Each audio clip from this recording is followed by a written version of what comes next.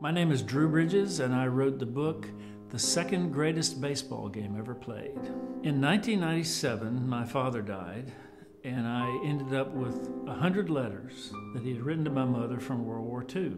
I read the letters from cover to cover, did not recognize the man in those letters, learned things about him, his war experience, learned that the life that he planned after coming home from war did not happen.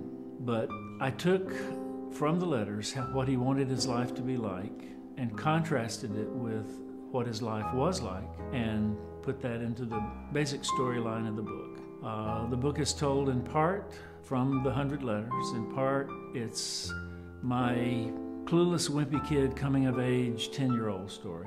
And in part, it's a specific game that my father organized which led to the founding of the local Little League program in mm-hmm. my hometown. My father organized two teams of 10 to 14 year olds, and we played a real game with a real umpire.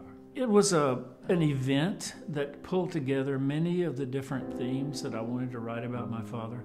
I mean, I wanted to do something that honored him, to tell his story and to tell my story. It's a father son story, it's a soldier come home from war story, it's a baseball story. I think anyone who played youth sports will like this book because it's about the forming of a little league. I think any father who ever coached a son or a daughter, and I think any family that watched for a soldier to come home from war would see at least some of their own story in this story.